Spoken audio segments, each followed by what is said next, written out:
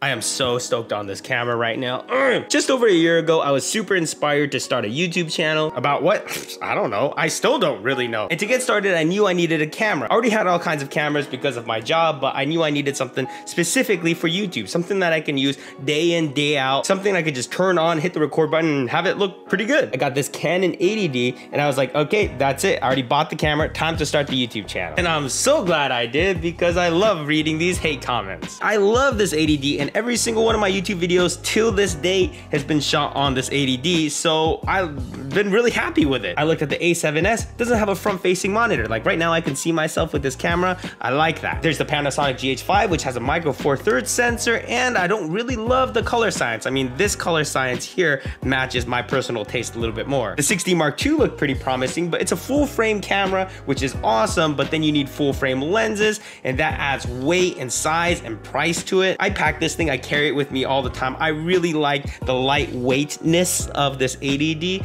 And also, I wanna not worry about beating it up a little bit. Till now, 80D has been my top choice, but the M50, Oh my god, it is so small. Smaller camera and it's mirrorless, so smaller lenses too. Oh my god, this thing is tiny. This is like Inception. Like you're looking at this camera, which is looking at your camera, which is looking at this. You guys see that? There's a 4K option there, but we're not really gonna use that. One. It was so exciting when they announced it had 4K, but don't plan on using it for vlogs. Only if you're trying to get like cinematic shots or whatever. But 4K again is overrated. It would be nice, but I care very little about it. I mean, this is the C100 Mark II, and I love this camera, and it is is not a 4K camera. It only shoots HD. HD and 4K is just the size of it, but really you can make HD really, really amazing. It's not the size that counts, it's how you use it. And demonetized. I wanna show you guys how small this, this is so small, I love it. The 80D is a DSLR with a mirror, so I still prefer to use this for taking pictures and stuff, but for a vlogger, I think this might be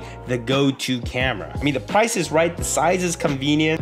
Yes, this is the Zhiyun Crane V2 gimbal, and I've always wanted to use this with this 80D, but this 80D was just a hair too big, and it was a little bit clumsy on here. But now with this mirrorless camera, it fits like no problem. You bet you're about to see some gimbal shots. I got the 80D here and the M50 right on top of it, and both settings are perfectly matched. 150 shutter at 4.5 ISO at 500. Picture profile on standard, we're recording 1080p at 24 frames per second, and just by looking at it, the M50 looks sharper and more vibrant. We'll have to bring this all into the computer and take a look at it, but dang, I'm excited. Like this looks good. And even if the picture looks very similar, I'll still be stoked because this camera is so much smaller.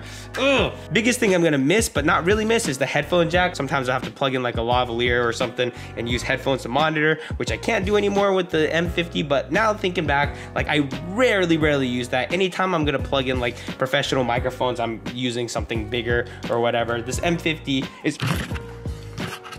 Okay,